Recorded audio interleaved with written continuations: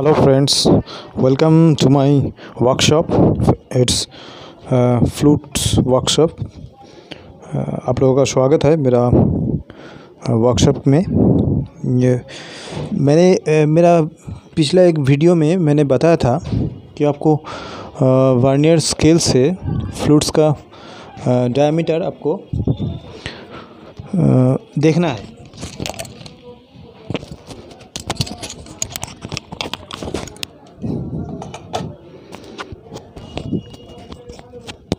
तो आप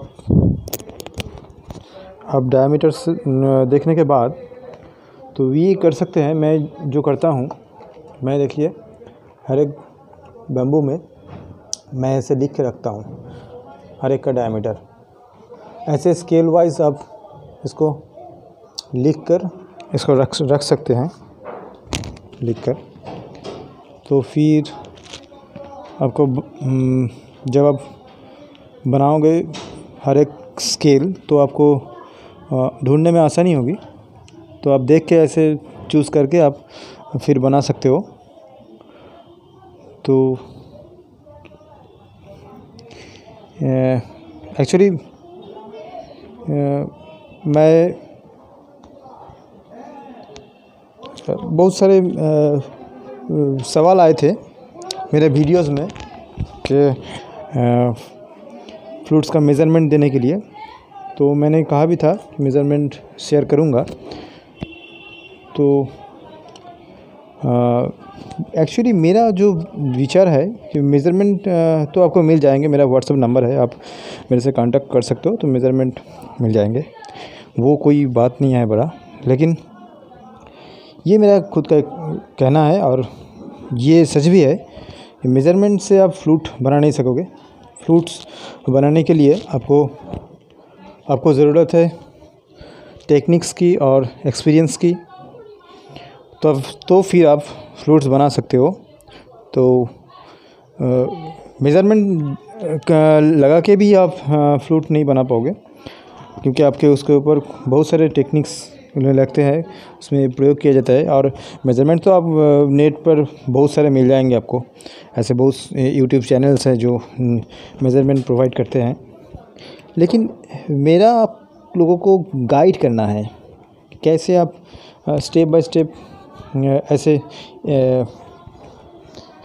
आगे जाओगे फ्लूट बनाने में। तो ये एक छोटा सा गाइड था। ऐसे कर सकते हो। और ये बिल्कुल बढ़िया क्वालिटी का बैम्बू है, आप देख सकते हो। एकदम एकदम गोल क्वालिटी देख सकते हो, एकदम। बहुत बढ़िया है क्वालिटी अच्छा क्वालिटी है। और वज़न भी है, आप देख सकते हो। तो वेट भी अच्छा है।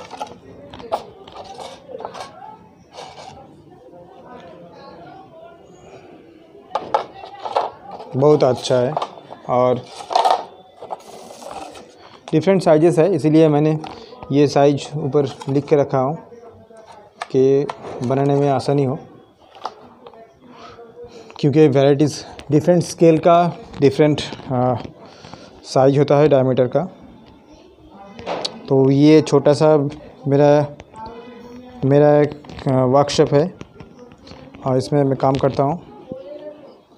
और ये रबर का कॉक्स है। ये तो पिछला वीडियो में मैंने बताया था कैसे इससे कॉक निकलते हैं। तो ये बहुत सारे हैं। अगर बैम्बू और ये कॉक्स ये आपको चाहिए तो मेरे से कांटेक्ट कर सकते हैं। Thank you